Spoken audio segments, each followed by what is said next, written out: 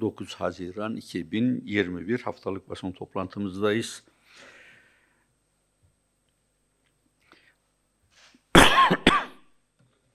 Muhterem arkadaşlar, değerli basın mensupları, ekranları başında bizleri takip eden kıymetli vatandaşlarımız. Öncelikle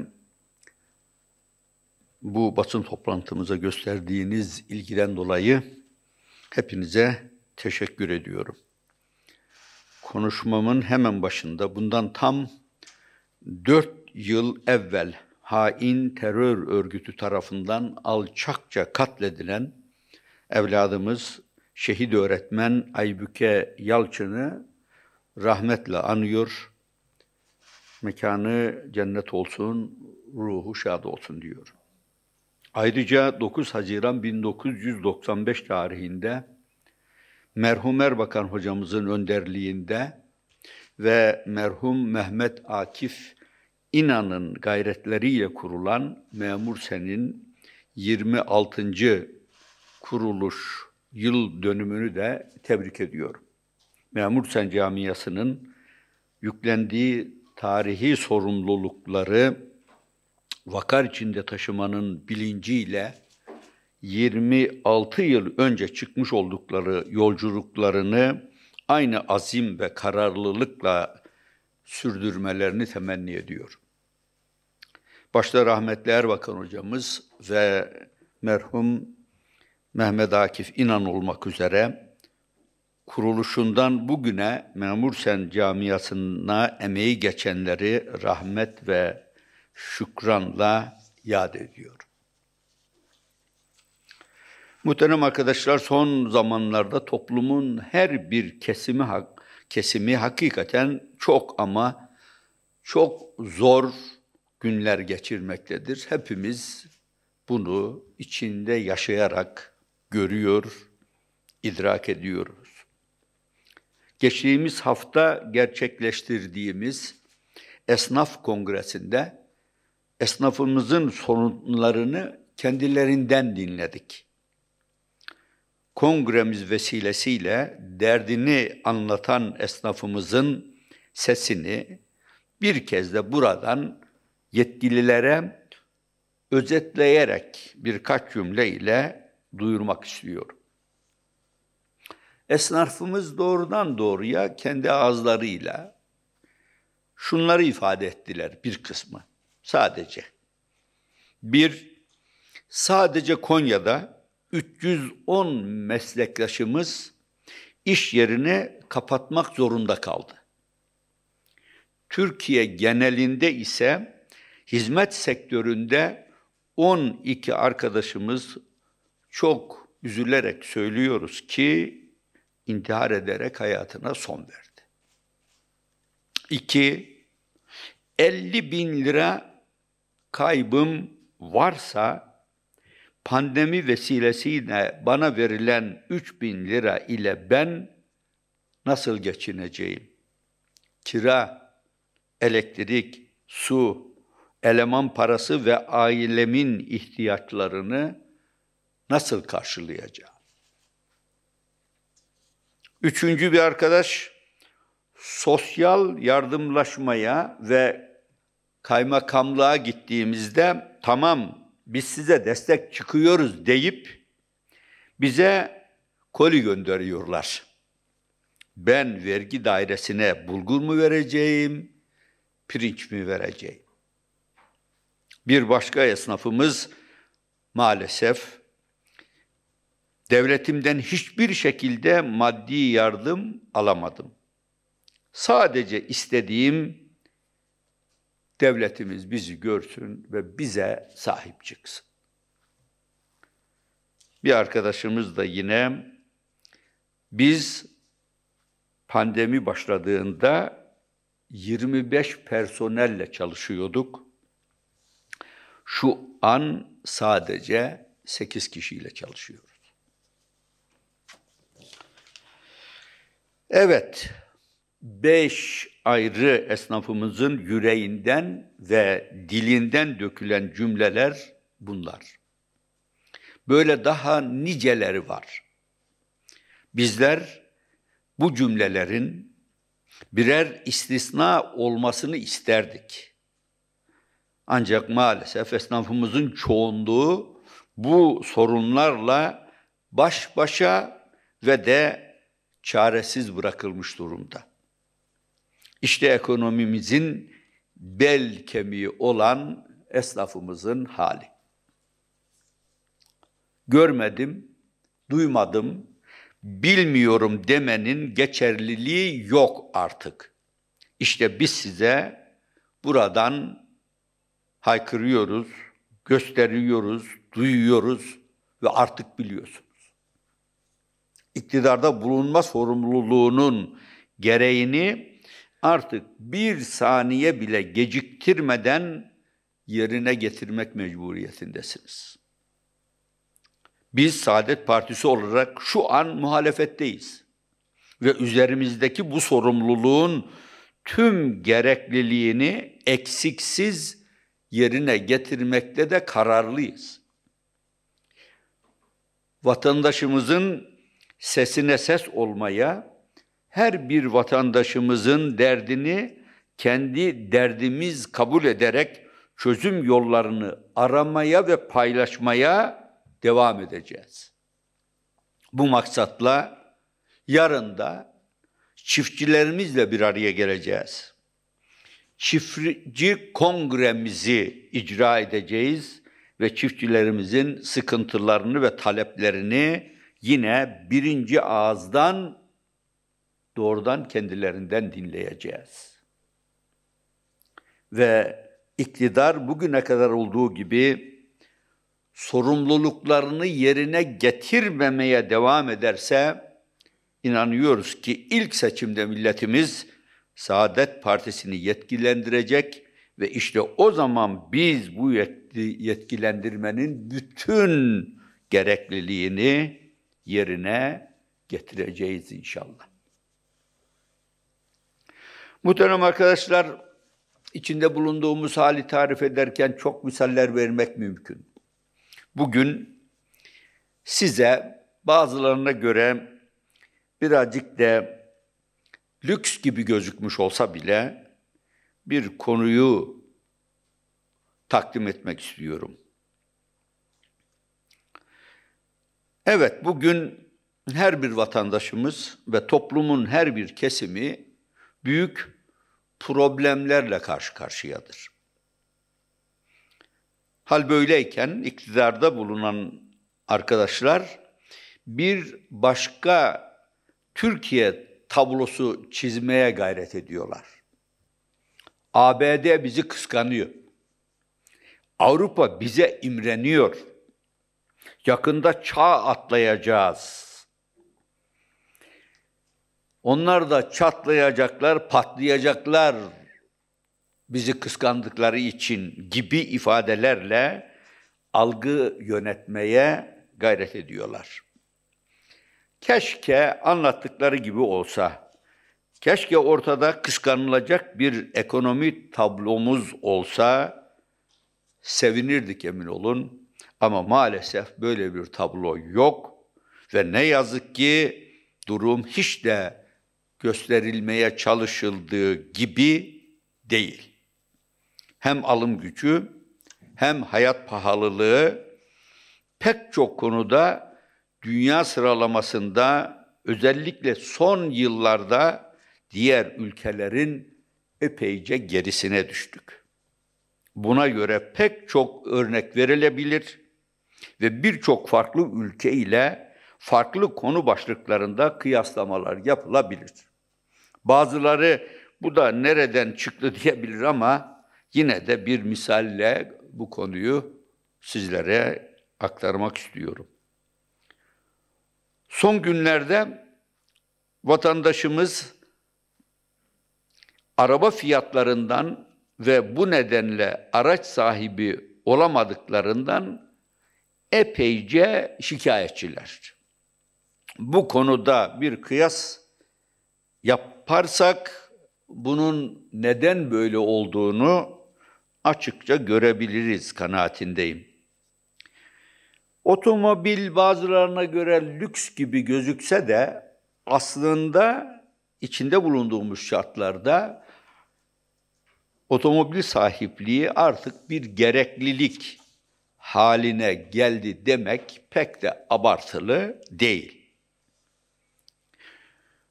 Öncelikle TÜİK verilerinden hareketle ülkemizin en az iki ailesinden birinin arabasının olmadığı anlaşılıyor. Eurostat verilerine göre ise dünya genelinde bin kişiye düşen otomobil sayısında son sıralardayız. Gelişmiş ülkeleri bir kenara bıraksak bile Bulgaristan ve Romanya'nın dahi yarısından daha az otomobil sahipliğimiz söz konusu. Avrupa'nın Avrupa Birliği'ne yeni üye olan ve hakikaten Avrupa standartlarında çok geride bulunan iki ülkeden bahsediyorum.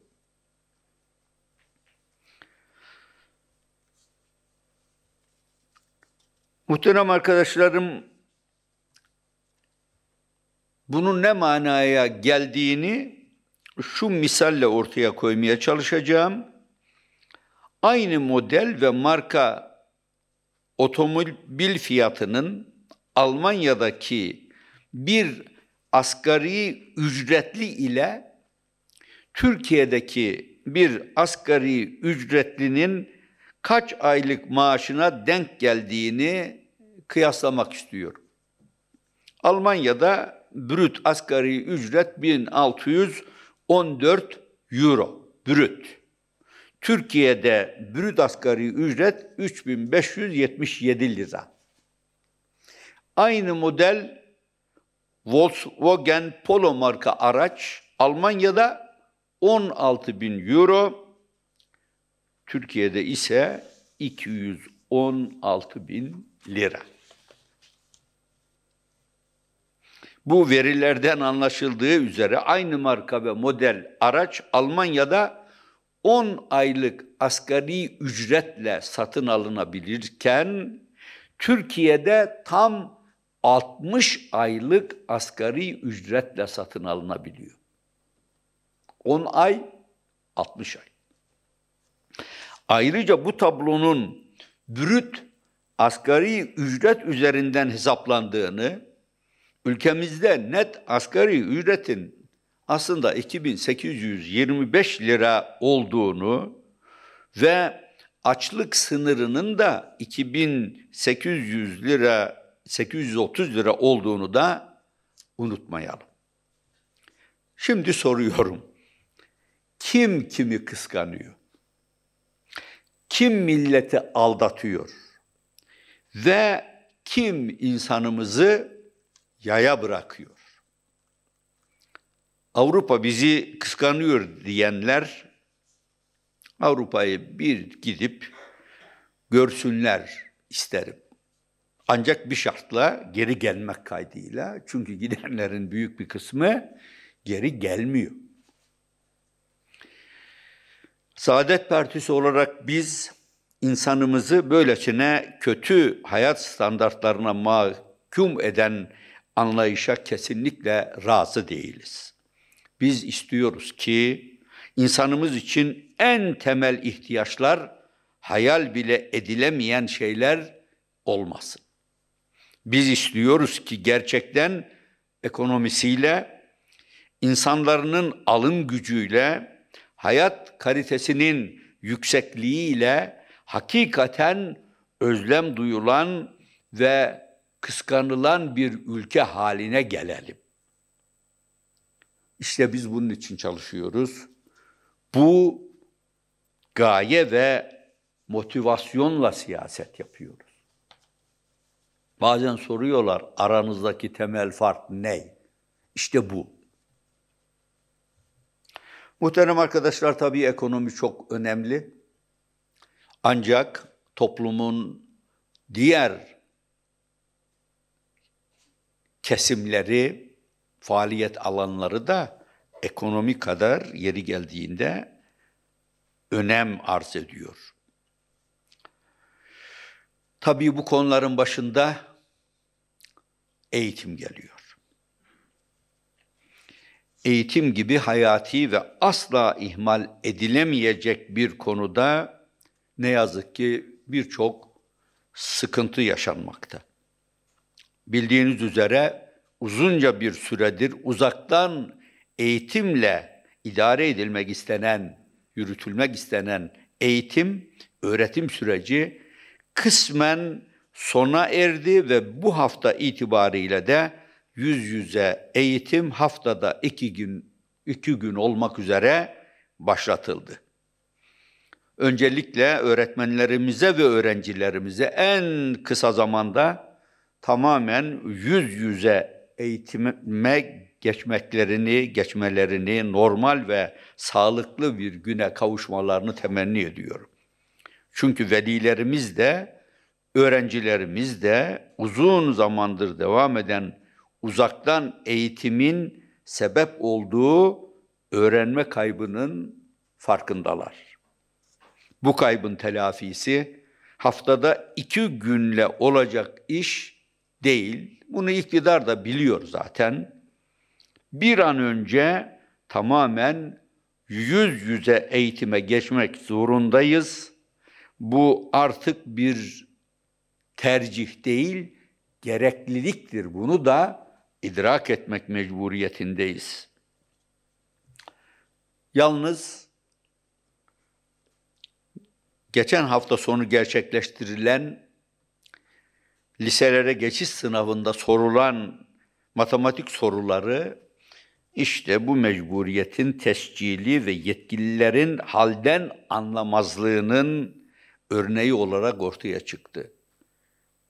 Pandemi döneminde herkes aynı eğitimi ve desteği alamamışken veya almamışken herkese bu denli zor sayılabilecek soruların sorulması eğitimde yıllardan beri yaşanan fırsat eşitsizliğini derinleştirmekten başka bir mana ifade etmiyor kanaatindeyiz.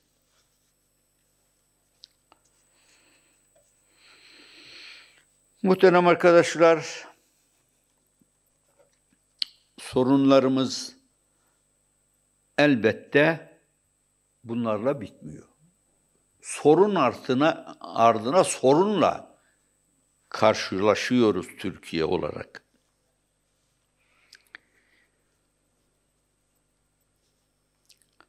Maalesef memleketimizde bazı çevrelerin biraz daha para kazanma hırsı, iktidarın da bu konudaki duyarsızlığı bizi en çok endişe ettiren husus. Bugün denizlerimizde gördüğümüz şey çevreyi kirletmeye ve memleketimizin doğal güzelliklerini tahrip etmeye dayalı büyüme modellerinin artık sürdürülebilir olmadığını gösteriyor. Büyüme modeli diyoruz da aslında büyüyor muyuz, büyümüyor muyuz? Veya yani lahana gibi bir büyümenin içine girdiysek sade aslında bunu büyüme diye tarif etmek de güçlenme manasına, problemlerimizi, ihtiyaçları giderme ihtiyaçlarımızı kar, karşılama manasına biz bunu kalkınma olarak göremeyiz. Bu manada da büyüme olarak da göremeyiz. Bazı şeyler maalesef yıllarca safsaklanıyor. Meseleler patlayınca da şaşkınlıkla sözde acil eylem planları hazırlanıyor ama bunun harekete geçmesi hemen mümkün olmuyor. Bakınız Marmara Denizi'ndeki müsilaj en müsilajın en önemli nedenlerinden olan art, atık sularla ilgili ta 2006 yılında çıkartılan kentsel atık su yönetmeliği bugüne kadar uygulanmadı. Neden? tam 15 yıl önce bir problemin farkına varılmış, bir yönetmelik hazırlanmış, Çevre ve Şehircilik Bakanlığı den çıkarılan deniz salyalarının kıyıya vurmasına kadar bu yönetmeliği tatbikata koymamış. Yani buna gaflet de diyemiyoruz. Çünkü farkına varmışlar. Bir problem olduğunu görmüşler. Bir yönetmelik hazırlamışlar. Ondan sonra da rafa kaldırmışlar. Tek bir adım bile atmamışlar. Muhterem arkadaşlarım hakikaten böyle konularda işin vahametini nasıl anlatacağız bir türlü bilemiyoruz.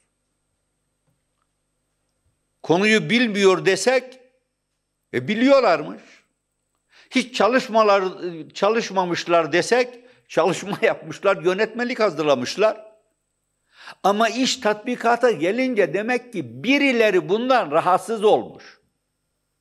Çünkü çevreyle ilgilenmek, tedbir almak hem devlete hem hükümete dolayısıyla hem de bu kirliliği yapanlara mali bir yük getirir.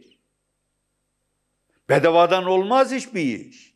Kim etki yapmış da 15 yıl bu yönetmelik rafa kaldırılmış. Bunun hesabını soramazlarsa bu problemleri çözemezler.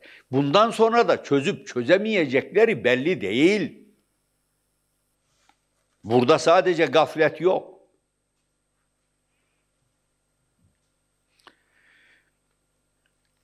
Muhterem arkadaşlar, Türkiye haftalardır bu müsilaj meselesiyle ilgileniyor.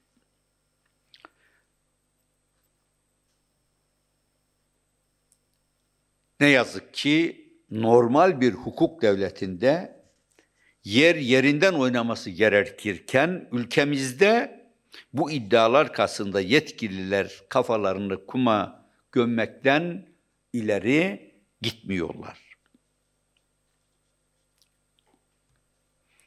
yargı mensupları, emniyet yetkilileri, siyasiler, iş adamları, gazeteciler ve mafya liderleri aynı cümlenin içerisinde zikredilir hale geldi. Ayrıca aynı otelde tatil yaptıkları ve para alışverişinde bulundukları iddiaları dile getiriliyor. yaşananların karşısında yetkililerin sessizliği ise istifhamların artmasına, iddiaların doğru olabileceği ne yönelik kanaatlerin pekişmesine ve kamusal vicdanın yaralanmasına yol açıyor. Çevre kirliliği önemli. Ama vicdanlar kirlenmeye başladıysa bunun önüne geçmek neredeyse imkansız gibi. Tövbe etmekten, hatalarını tekrar gündeme getirip kabul etmekten başka çare yok. Bir müsilaj problemini çözemeyenlerin bugün Türkiye'de siyasete yansımış olan problemleri çözmesi ise neredeyse imkansız gibi gözüküyor. Bunun için gündemlerine dahi almak istemiyorlar. Sorulara cevap vermek bile onlara zor geliyor. Meselelere böyle yazar yaklaşırsanız hiçbir problemi çözemezsiniz. Totaliter rejimler için muhterem arkadaşlar sopa neyse bizim gibi ülkeler için de propaganda ve medya kuruluşları odur maalesef. Ülkemizde son yıllarda medyanın ne hale geldiğini hepimiz görmekteyiz. Şimdi ortaya atılan iddialar ve yaşanan son gelişmeler bu düzenin nasıl tesis edildiğini, yargı, medya, sermaye düzeninin iktidara bağımlı yapısını ve bu kötü yönetme halinin ürettiği siyasal sonuçları gözler önüne serdi son zamanlar. Meğer vatandaştan KYK borçlusu gençlerden alacağını söke söke alan devlet kimlere göz yummuş artık ortaya çıktı. Çiftçiye, esnafa, vatandaşa destek olması gereken Ziraat Bankası aslında hangi amaçla kimlere kıyak çekmiş o da ortaya çıktığı kanaatindeyiz. Her yerimiz dert küpü. Denize bakıyoruz, dert var. Karaya bakıyoruz, dert var. Ekonomiye bakıyoruz, almış başını gidiyor zaten. Şimdi ister istemez bu noktada Ziraat Bankası'yla ilgili birkaç soruyu sorma ihtiyacını duyuyoruz. Ziraat Bankası'nın kuruluş amacı ne? Türkiye'de tarım ve hayvancılığı desteklemek, çiftçiye, köylüye, vatandaşa destek olmak amacıyla mı kuruldu? Yoksa geri planda başka bir amacı mı vardı? Şu anda denklem maalesef tersinden işliyor. Fakirden alınıyor, zengine veriliyor. İşçiden alınıyor, patrona veriliyor. Esnaftan alınıyor, müteahhide ve medya holdinglerine veriliyor. Ben burada şunu hemen söyleyeyim. Hiçbir zaman sermaye düşmanlığını yapmadık, yapmayız. Dürüst bir şekilde çalışan esnafımızın da, sanayicimizin de, iş adamımızın da arkasındayız. Ama siz memleketin içinde sürüklen, içine sürüklendiği problemlerin yükünü vatandaşımızın sırtından alacağınıza, kaldıracağınıza, onun sırtına vurursanız işte ona rıza göstermeyin.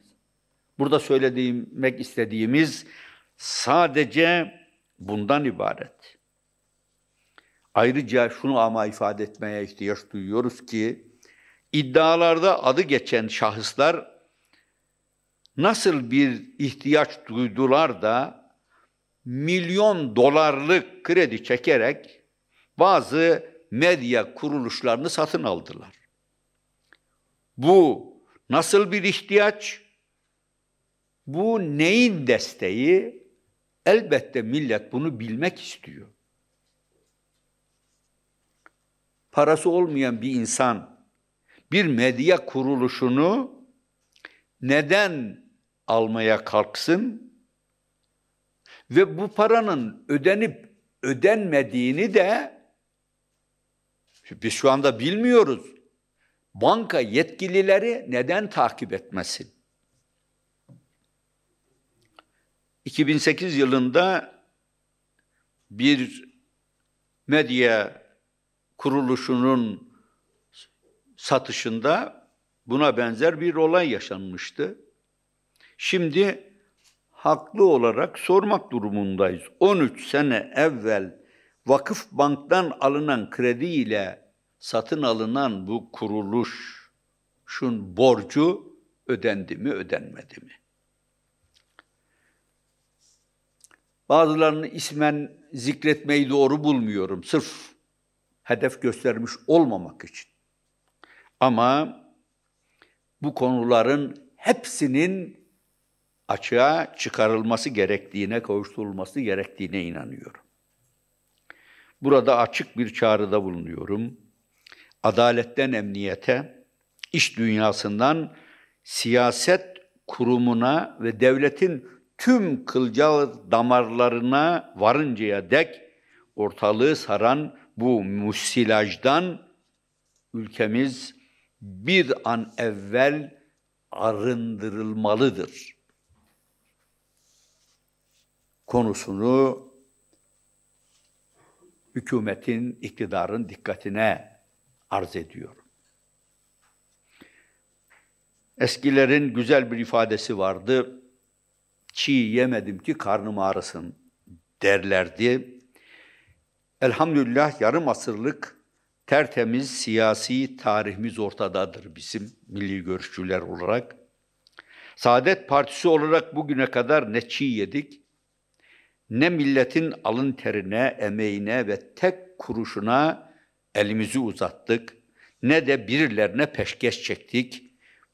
Bu, nedenle de bizim karnımız hiç ağrımıyor Allah'a hamdolsun. Ayrıca milletimiz müsterih olsun ki bu iddiaların araştırılmasının, soruşturulmasının çiğ yiyenlerin, milletin hakkını gasp edenlerin ve bu yüzden bugün dile getirilen iddialar nedeniyle karın ağrısından kıvrananların da hesap vermesi gerekliliğini her fırsatta ve her zeminde dile getirmeye devam edeceğimizi bilinmesini isteriz. Tabii memleketimizde bu problemler yaşanırken dünyada da bir takım gelişmeler oluyor. Onlara da kısaca dış politikaya değinmek istiyorum. Bu dönem arkadaşlarım son zamanlarda İslam'a fobi bütün dünyada aldı başını gidiyor. Özellikle de geçenlerde Kanada'nın Ontario eyaletinde meydana gelen saldırıyı nefretle, şiddetle kınıyorum. Bir insan düşünün, sokakta, kaldırımda yürüyen bir ailenin üzerine alçakça arabasını sürüyor. Dört tane kişi hayatını kaybediyor, bir çocuk yaralanıyor. Ve bu dünyayı ayağa kaldırmıyor. Ki son zamanlarda Kanada, özellikle Kanada Başbakanı bu konuda hassas davranan bir insan. Bunu da biliyoruz, anlıyoruz, görüyoruz. Ama orada bile eğer bir insan sokakta yürüyen bir ailenin üzerine arabasını sürüp bunların dördünü katlediyorsa bu belhum adal denilen insandır. Yani hayvandan daha aşağı mertebededir. Tabii sadece bunlar değil. Maalesef son zamanlarda geçmişte yaşanan özellikle Kanada'da ve Amerika'nın bazı eyaletlerinde yaşanan fecaatler de ortaya çıkmaya başladı. Ama hemen şunu ifade edeyim ki bu anlattığım olay Kanada hükümeti tarafından nefret suçu olarak kayıtlara geçirildi ve saldırganın İslamofobik saliklerle hareket, hareket ettiği açıklandı. Bunun böyle tescil edilmiş olması da bir müsbet istikametteki gelişme olarak görülebilir. Ama geçmişe döndüğümüzde üzeri örtülmüş hadiseler şimdi ortaya çıkmaya başladı. Bir hafta evvel Kanada'nın bir eyaletinde geçmişte yani yaklaşık 100 sene önce 1921'de bir yatılı okulda 215 çocuğun yerli, Kızılderili tabir edilen çocuğun katledilmiş olduğu anlaşıldı. O da şu anda bulunan cesetlerle 215 çocuk yatılı bir okulda katledilmiş. Ve bunlar kendilerini medeni kabul eden ülkeler. Biz de onlara özeniyoruz.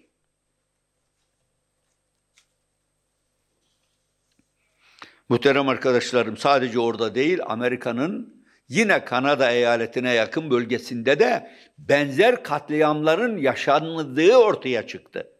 Geçmişte bunlar efendim 30-40 kişi güya katledilmiş gibi gösterilirken arkasından yapılan araştırmalar bunun gene birkaç yüz kişi olduğunu, bir şehrin topyekün ortadan kaldırıldığını gösteriyor. Bu bize Batı'nın gerçek yüzünü gösteren gelişmeler, hadiseler.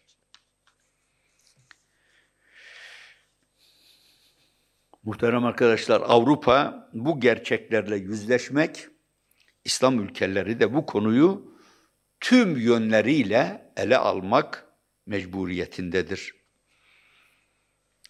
Çok açık ve net olarak gözüküyor ki bugün Avrupa'da ciddi bir İslamofobi var. İslamofobi yeni icat edilen bir terim. İslam korkusu. Yani Müslümanlardan korkulması icap ediyor. Müslümanlar Batılıların geçmişte işledikleri hiçbir cinayeti işlemediler. İşte İspanya kendi dışında hakim oldukları zaman herkesi katlettiler ki İspanya'da Müslümanlar hakimken herkese yaşama hakkını, insanca yaşama hakkını vermişti. İşte Kudüs ne zamanki Haçlılar hakim oldu, Müslümanlarla yaşamaya razı olan Hristiyanları bile katlettiler. Ne zaman ki Selahaddin Eyyubi Kudüs'ü yeniden hürriyetine kavuşturdu, herkese yaşama hakkı tanıdı. İslamofobi uydurulan bir tabir. İslam'dan korkulmaz. İslam hayat verir. Adaleti temsil eder. Ama ne yazık ki bu konu Avrupa'da her geçen gün biraz daha öne çıkarılıyor. Macron gibi devlet başkanları da kendilerine bakmadan bu alçaklığı maalesef işliyorlar. İslam'a karşı bu korku ve ardından nefret elbette halkta da bir takım tepkilerin oluşmasına vesile oluyor. Son yıllarda bu İslam karşıtlığı ve İslam düşmanlığı maalesef artmış. Son beş yılda bu artışın yüzde 250 olduğu, saldırılarda hayatını kaybedenlerin ise yüzde 700, 7 misli arttığı ifade ediliyor. Durum gerçekten bu kadar vahimdir ve tehlikeli boyutlara ulaşmıştır. Hem uluslararası kuruluşlar, hem İslam ülkeleri, hem de bütün dünya bu konuda ayağa kalkmalı, konunun ehemmiyetini idrak etmelidir. Muhterem arkadaşlarım, sonuna geliyorum. Birkaç konuyu daha temas edip toplayacağım. Bildiğimiz gibi 14 Haziran'da NATO zirvesi akdedilecek Avrupa'da Sayın Cumhurbaşkanı Recep Tayyip Erdoğan ve Amerika Birleşik Devletleri Başkanı Joe Biden Brüksel'de bu vesileyle bir araya gelecekler. Ancak bu konuda neler görüşülecek az çok tahmin etmek mümkün. Ama şunu unutmayalım. Şu anda Avrupa'nın da Amerika'nın da gündeminde bulunan birinci madde Büyük Orta Doğu Projesi'dir. Büyük Orta Doğu Projesi'nin esas kimliği, adı Büyük İsrail Projesi'dir. Orta Doğu'da haritaları yeniden çizmeye, sınırları değiştirmeye kararlılar. Maalesef hedefte bütün İslam ülkeleri olduğu gibi Türkiye'mizde var. Bizim de sınırlarımızın değişeceği o haritalarda gösteriliyor. Önce bizim Cumhurbaşkanımızın geçmişte bir yanlışlıkla diye düşünüyorum. İnşallah öyle olmuştu. Büyük Orta Doğu Proje eş başkanlığından çıktığını artık bu projenin karşısında olduğunu ifade etmesi gerekir. Bu bizi tehdit eden bir proje. Şu anda Biden'ın İsrail Başbakanına hitaben evet ben Yahudi değilim ama bilesiniz ki ben Siyonistim demesi bu fecaatin en önemli göster göstergelerinden birisidir. Hele de böyle bir noktada onların ağzına bir pal bal çalalım gibi bir takım düşünceler varsa ben bu düşüncelerden de vazgeçilmesi gerektiğine inanıyorum. Çok önemli değilmiş gibi belki gözüküyor ama NBŞ yani bu konularda bizim tatlandırıcı konusunda bir ihtimal acaba bir kıyak geçebilir miyiz diye dünyada gıdalara katımı bunun yasak. İlaç dışında. E, Türkiye'de yüzde iki buçuk kullanılıyor. Yüzde beşe çıkarılma ihtimali var. Ha bu tarzdaki eğer bir takım kıyaklar düşünülüyorsa bu tehlikeli bir yaklaşım olur. Bunu mutlaka hatırlayalım. Bundan dolayı da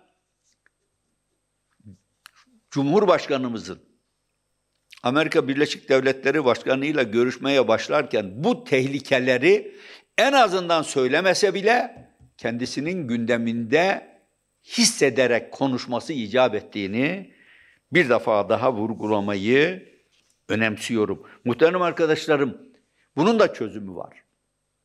Bu bölgede bulunan ülkeler bir araya gelmek mecburiyetinde savunma yönüyle.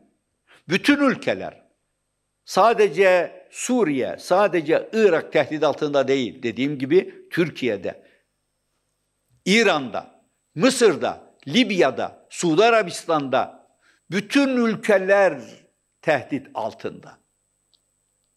Buna karşı biz bir araya gelerek bir direnç göstermek mecburiyetindeyiz. Dünyayı değiştirmeye çalışıyorlar. Bir kısmı artık kıyamete yaklaştık. Biz elimizi çabuk tutmazsak bunun zararını göreceğiz diye bir kanaate gelmiş bulunuyorlar. Bunun için ne yapıp yapıp Türkiye olarak da bölge olarak da harekete geçmeye, bir savunma adeta şimdilik paktı oluşturmaya mecburuz. İşte İslam İşbirliği Teşkilatı, işte D8'ler bunun ilk adımları idi. Biz şimdi bunu yeniden ayağa, hayata geçirmek gayretinin içine girmeliyiz. İktidarı da bu noktada uyarıyoruz Sayın Cumhurbaşkanı. 19 yıllık siyasi iktidarları zamanında bu konular hiç gündeme gelmedi. Ne İslam Birliği ne de sekizler bu iktidarın gündeminde yer almadı. Sadece geçenlerde D8 yönetim D8 e, temsilciliği bizdeydi. Başkanlık onu Bangladeş'e devretti. Bu medyada bir görüntü olarak yer aldı o kadar. Ama buna mutlaka sahip çıkmaya ve bu meseleyi ciddiye almaya mecburuz. Aslında ekonomi önemli, eğitim önemli, sağlık önemli ama dünyanın yeniden şekillendirilmesi istikametindeki gelişmeler çok daha önemli. Güçlü olursak etkili oluruz. Ekonomi o yönüyle önemli. Güçlü olursak bu gelişmelere mani oluruz. Ekonomi bundan dolayı önemli. Kendi ihtiyacımızı kendimiz karşılayacak bir noktaya gelmeye mecburuz. Kendi silahımızı da, savunma silahımızı da onun için kendimiz yapmaya mecburuz. Son zamanlarda bir takım adımlar atıldı ama bundan hiçbir tanesi yeterli değil. Rusya ile olan S-400'ler önemli. Onları terk edeceğiz, yerine ne alacağız onu düşünmeden elbette karar almaz bu iktidar diye ümit ediyorum. Evet, vakti biraz geçirdim. Arkadaşlarımızın soruları varsa onlara hemen cevap vereyim. Buyur. TV5 muhabiri Alper İnanç. E, efendim Cumhurbaşkanı Erdoğan bugün grup toplantısında muhalefete neymiş millet açmış. Aç olarak dolaşanları buyurun siz de doyuru verin. Biz ne gerekiyorsa bütün imkan, imkanlarımızı seferber ederek bunları yaptık dedi. Bu konudaki açıklamalar yorumunuz nedir? İşte söyledim. Evet bir defa herkese pirinç, bulgur gibi şeyleri ekmeği gönderiyorlar ama esnaf da soruyor tamam da ben vergimi bununla mı ödeyeceğim diye. Biraz önce söyledim. Çok açık ve net. Siz sadece bulgur, pirinç, bilmem fasulye, ekmek dağıtarak bu sıkıntıları giderdiğinizi zannediyorsanız siz bu problemleri çözemezsiniz. Bir defa bunun bilinmesinde fayda var. Otomobil misalini de, misalini de bunun için verdim. Avrupa'daki bir adam 10 aylık maaşıyla asgari ücretle bir arabayı alırken bizde 60 aylık maaşıyla alabiliyor. Esnaf ben ölüyorum diyor. 12 kişi Konya'dan verilen bilgi 12 kişi intihar etmiş. Binlerce iş yeri kapatılmış. E siz şimdi hala başka bir türkü çağırmaya çalışıyorsunuz. Bunun bir faydası var yalnız Sayın Cumhurbaşkanı'nın bu tavrının milletin uyanmasına vesile oluyor. Çünkü dalga geçiyor gibi. Siz ne bağırıp duruyorsunuz ya? Açız diyorsunuz. Yiyin ekmeğinizi, oturun oturduğunuz yerde. Yetmez mi bu size? Tavrı Türkiye'nin ekonomik problemlerinin çözüldüğü manasına gelmez. Evet. Efendim dün Ulaştırma ve Altyapı Bakanı Adil Kara İsmailoğlu Kanal İstanbul Marmara'yı deniz salyası sorunundan kurtaracak demişti. Ee, bilim insanları da bu bakan e, bilim insanları da bakanın bu açıklamasını umarım şaka yapmıştır şeklinde eleştirdi. Evet. Bugün de Kanal İstanbul'da ilk kazmanın vurulması için 26 Haziran tarihi verildi.